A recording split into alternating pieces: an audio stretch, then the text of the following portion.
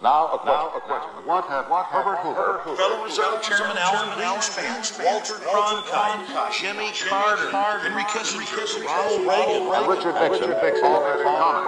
Well, they've all been members of the exclusive all-male